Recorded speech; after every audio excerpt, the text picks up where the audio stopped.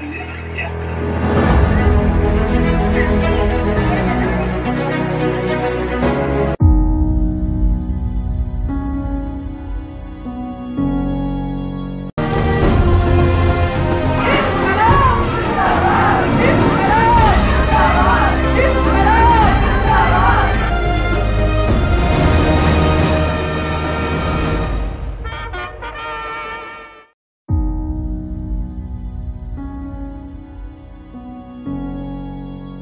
Namaste.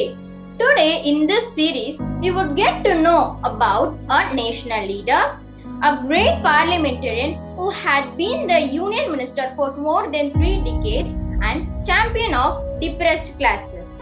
He was also affectionately called as Babuji as he was a freedom fighter, a crusader for social justice, and a messiah, and a messiah of the downtrodden.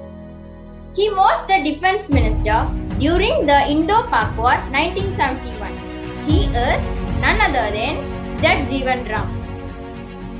Jagjivan Ram was born on 5th April 1908 in Bihar to Sobi Ram and Vasanti Devi.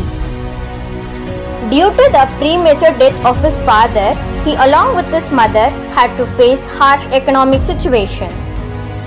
He was subject to caste discrimination early when he was at school.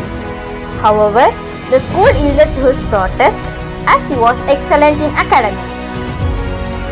The turning point in his life came in 1925 when Pandit Madan Mohan Malaviya heard his welcome address during the school visit and invited him to study at Banaras Hindu University which he did after passing his metric exams in first division. Later, he moved over to University of Calcutta where he graduated. He also organized several demonstrations to showcase the ill effects of discrimination along with Gandhiji. In 1931, Ram participated the anti-untouchability movement started by Mahatma Gandhi. He also got noticed by Netaji Subhash Chandra Bose in 1928 when he organized a Mazdoor rally in Kolkata where nearly 50,000 people participated. In the early 1940s, he was imprisoned twice for his active participation in the Satyagraha and the Quit India movements. In 1946, Ram became the youngest minister in Jawaharlal Nehru's provisional government and he was the first Indian cabinet labor minister. In Indira Gandhi's government, he worked as a minister for labor, employment and rehabilitation, union minister for food and agriculture, minister of defense and minister for agriculture and irrigation. His contributions for the Green Revolution had been immense. When Morarji Desai was the Prime Minister of India from 1977 to 1979, during his tenure, Ram served as the Deputy Prime Minister. In post independent India, his contribution to nation building has left an indelible mark. As one of the founding fathers of the Constitution and as an important leader of the Constituent Assembly, he ensured the importance of social justice as one of the ideals enshrined in the Constitution.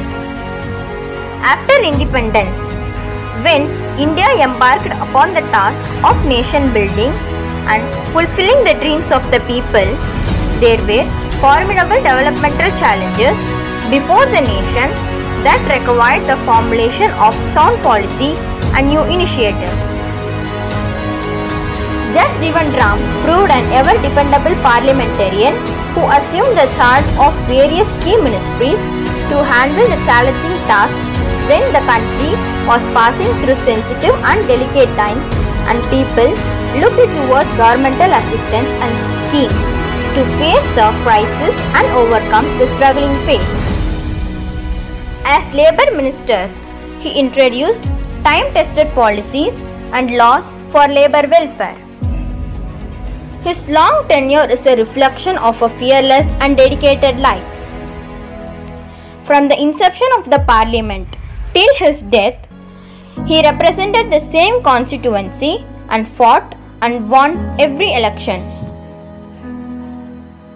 His uninterrupted legislative career from 1936 to 1986, spanning half a century, is a world record in itself. Leaving behind the message of equality, he breathed his last on 6th July 1986. His birth anniversary is observed as Tanmay Equality Day in India. Vande Mataram.